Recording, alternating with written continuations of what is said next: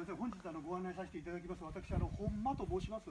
あの本の間って書く本間と申します。どうぞよろしくお願いいたします。よろしくお願いします。で今日はあの皆さんね時がちょうど特にさっきあの4話ぐらい来ておりましてですね。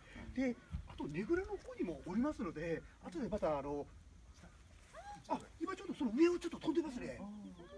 今位置はちょっと上空を飛んでおります。来てあ今ちょっと旋回してねおりますあもしも取られるんだったら取りますか先に。飛んでるところを取られるんだったら。